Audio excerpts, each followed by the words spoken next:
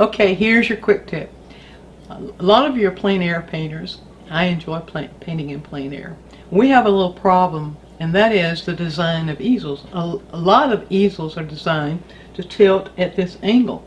Uh, more the most of the plein air easels, though, are have adjustable angles. Well, here's the point about that. When you're out painting, uh, if your angle, if your easel is tilted at this angle, you're going to get glare. And glare can drive you crazy when you're trying to paint.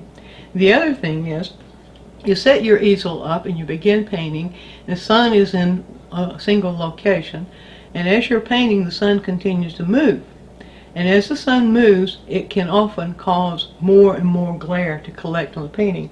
Um, you'll be painting, in, especially if you're painting in oil, but oil is very wet, you're going to get a lot and lots of glare.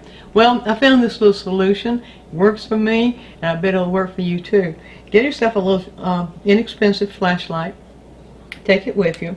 And when you set your painting up, take with you uh, a, a, little painting that you've already got, already got finished, a little painting that you've already finished, um, and, um, and have it varnished so that it has um, kind of a wet looking surface.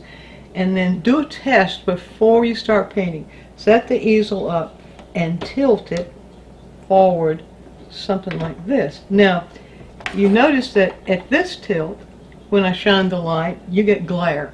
There's the glare. And if I imitate the sun, if the sun is moving I imitate the sun, you maybe can get a kind of a sense, depending on what the sun's doing and where I am, of what kind of glare you're going to have to fight.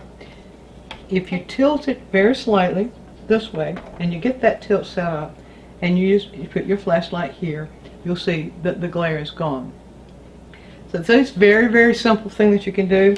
Um, the other, other thing I would suggest is when you get once you get that tilt established, tighten your easel up very tight so it's not going to scoot all over the place.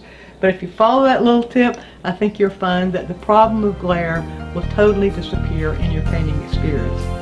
That's your quick tip.